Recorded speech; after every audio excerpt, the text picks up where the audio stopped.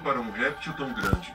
Esta cobra rei pensa que encontrou uma boa refeição, mas não faz ideia do que um comodo é capaz de fazer. O comodo dá um belo tapa no rosto antes de morder e certamente vai comer também. No quintal de uma casa, o comodo gigante não pensa duas vezes antes de atacar o pequeno felino, sem chance de revidar. O gato está sendo Ah, é gato. enquanto o comodo está feliz.